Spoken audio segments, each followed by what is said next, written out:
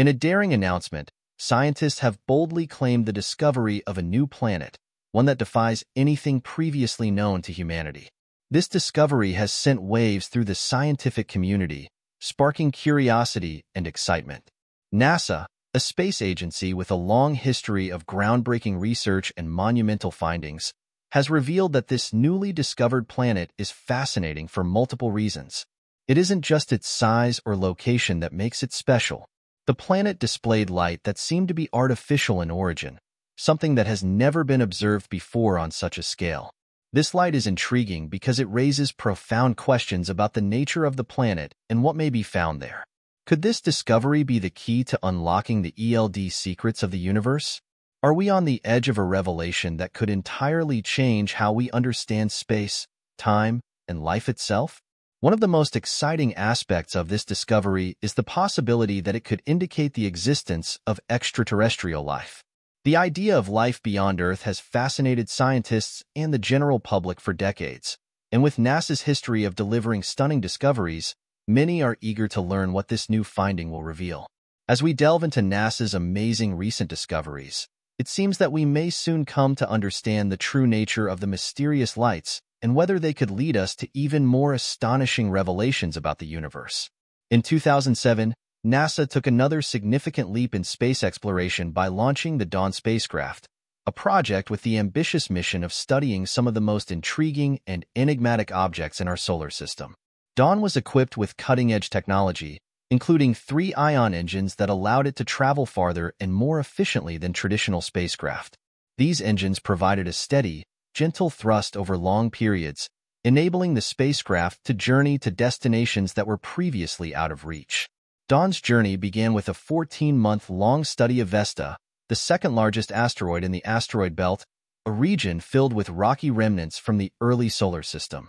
Vesta had long been a subject of interest because of its size, unique features, and the potential to learn more about the early formation of planets. Dawn sent back detailed images and scientific data that revealed Vesta's complex surface, marked by craters, grooves, and ridges. This data also provided insights into the asteroid's geological history, which showed that Vesta had experienced a series of impactful events that shaped its current appearance. After completing its mission at Vesta, Dawn began what was arguably the most exciting part of its journey, a detailed study of Ceres, the largest object in the asteroid belt. The spacecraft's ion engines enabled it to leave Vesta's orbit and head toward Ceres in a way that traditional chemical propulsion systems would not have allowed. These engines allowed Dawn to travel great distances while conserving fuel, eventually enabling it to enter a stable orbit around Ceres, marking a new chapter in our understanding of the solar system. Ceres, which was discovered in 1801 by the Italian astronomer Giuseppe Piazzi, holds a special place in the solar system as the largest object in the asteroid belt between Mars and Jupiter. For many years, Ceres was considered the smallest of the dwarf planets in our solar system, but in 2006, it was reclassified. This reclassification marked it as one of the most massive and significant bodies in the asteroid belt. Ceres is roughly 950 kilometers in diameter, making it much larger than many other objects in this region. Its sheer size and mass alone have intrigued scientists, but it is its unique characteristics that have truly captivated their attention. One of the most surprising discoveries about Ceres came from the images and data sent back by the Dawn spacecraft. As Dawn approached Ceres, it captured the first detailed images of this mysterious world, revealing bright spots scattered across its surface. These bright spots were concentrated in a large crater known as a crater, which immediately sparked curiosity and speculation within the scientific community. Prior to dawn, the best images we had of Ceres were low-resolution and blurry, taken from Earth-based telescopes like the Hubble Space Telescope.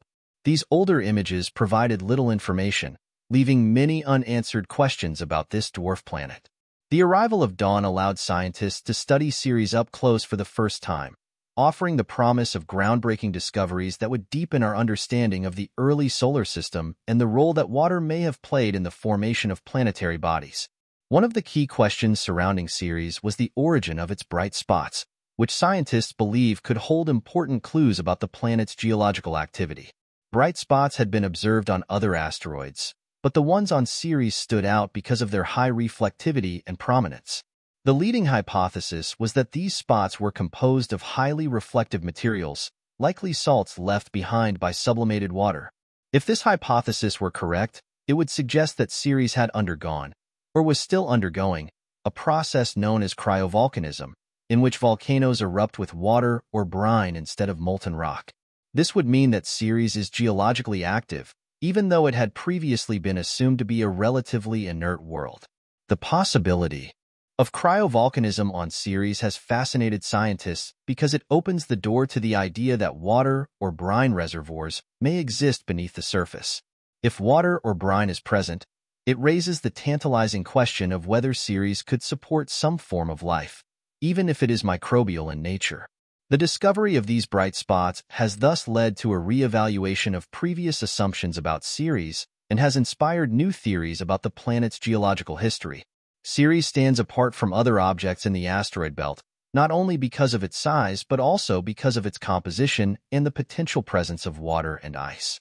Unlike most rocky asteroids in the belt, Ceres has a composition that is more similar to that of a comet, suggesting that it may contain a significant amount of ice beneath its surface.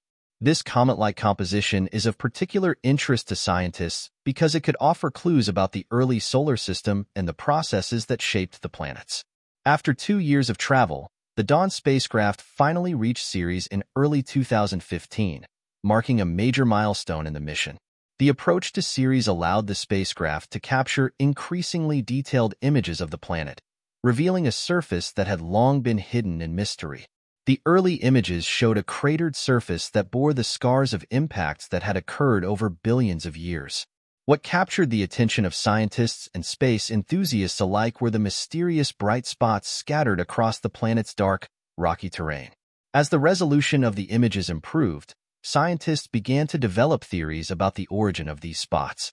Were they patches of ice reflecting sunlight, or could they be something more exotic, such as mineral deposits or evidence of cryovolcanic activity? As scientists studied the bright spots more closely, they were surprised to find that the brightest spot, located in the Occator crater, was not a single entity but a cluster of several distinct spots. This discovery further fueled speculation about their origin. The most widely accepted theory was that these spots were deposits of salt left behind by the sublimation of water, a process in which water transitions directly from a solid to a gas, bypassing the liquid phase. This suggested that Ceres may have experienced, or could still be experiencing, geological activity capable of bringing water or brine to the surface, where it would quickly evaporate, leaving behind bright, reflective salt residues. The discovery of these bright spots challenged the long-standing belief that Ceres was a geologically inactive body, prompting scientists to reconsider what they knew about this enigmatic world. The possibility that Ceres might have groundwater or pockets of brine beneath its surface raises important questions about the potential for life elsewhere in the solar system. Even if life does not exist on Ceres, the presence of water or brine could have implications for our understanding of habitability on other icy worlds. Ceres is an intriguing dwarf planet with an icy surface and a rocky, porous structure that sets it apart from most of the other objects in the asteroid belt, which are composed primarily of rocks and metals.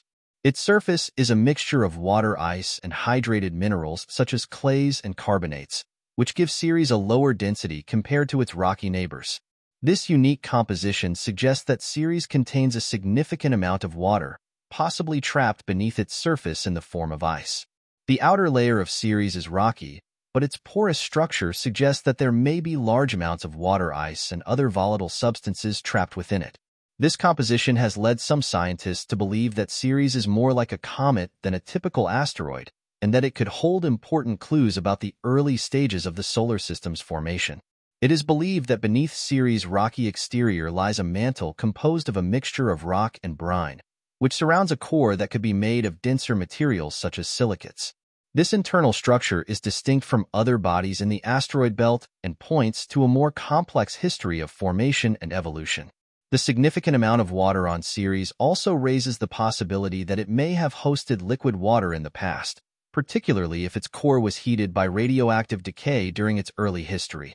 This potential for past liquid water, combined with its current geological activity, makes Ceres an important target for scientists studying the evolution of water in the solar system.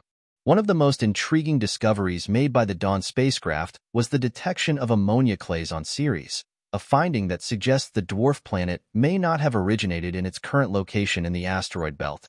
The presence of ammonia is significant because it lowers the freezing point of water, which could help support the existence of surface brines on Ceres. This discovery has led scientists to hypothesize that Ceres may have formed in a cooler, more distant region of the solar system and later migrated inward to its current position. Understanding the composition and history of Ceres not only provides insights into the dwarf planet itself, but also offers valuable clues about the processes that govern the formation and evolution of icy bodies throughout the solar system. The unique combination of water ice and ammonia on Ceres makes it an important object of study for scientists interested in learning more about the role that volatile substances play in shaping planetary bodies. Cryovolcanism, the process by which icy volcanoes erupt with water or other volatile materials instead of molten rock, is a fascinating phenomenon that is relatively rare in the solar system. Traditional volcanoes, like those found on Earth, spew molten lava but cryovolcanoes expel substances such as water, ammonia, or methane, which can exist as liquids or gases in the cold environments where cryovolcanoes are typically found on Ceres. Cryovolcanoes likely erupt by allowing water, which is often mixed with dissolved salts, to escape to the surface. When this salt water reaches the surface of Ceres, it is exposed to the vacuum of space, where it rapidly sublimates, transitioning directly from a solid or liquid state into a gas. This process leaves behind reflective deposits of salt, which form the bright spots observed on the surface of Ceres. The most famous of these bright spots is located in a crater called Occator and is known as Cerealia Facula. This area has garnered significant attention because of its intense reflectivity and the periodic haze that has been observed over it. Scientists believe that these hazes are caused by water vapor sublimating from the surface, suggesting that cryovolcanic activity on Ceres may still be occurring or at least occurred relatively recently. In addition to Cerealia Facula, Ceres is home to several other bright spots, each with its own distinct characteristics. These spots are not confined to a single region but are scattered across the surface of the dwarf planet, indicating that cryovolcanism may be a widespread phenomenon on Ceres. The presence of these bright spots has reshaped our understanding of Ceres, revealing it to be a more dynamic and geologically active world than previously thought. The discovery of cryovolcanism on Ceres has also raised important questions about the potential for similar processes to occur on other icy worlds in the solar system, such as Europa or Enceladus, which may also have subsurface oceans or water reservoirs. As the Dawn spacecraft continues to send back detailed images and data from Ceres, it has become clear that this dwarf planet has a far more complex and varied surface than previously imagined.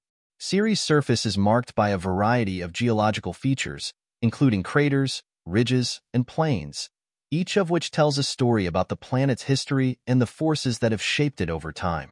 Let me know what you think in the comments box. If you like the video, remember to like and subscribe.